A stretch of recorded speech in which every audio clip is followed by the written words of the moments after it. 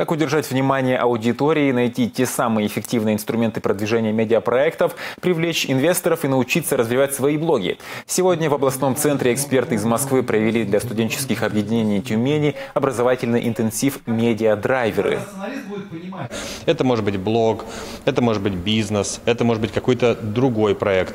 Мы помогаем ребятам выстроить траекторию, то есть сформировать навигацию и из точки А как можно быстрее попасть в точку Б, где мы помогаем ресурсам, стратегии и, э, самое главное, мы помещаем их в среду. Инициатором этого мероприятия выступила Общественная палата Российской Федерации, которую представляет ваш покорный слуга. Московская команда медиадрайверов приехала к нам работать целый день. У нас уже был старт, и сейчас до вечера мы будем работать, разрабатывать проекты и учиться чему-то новому и креативному.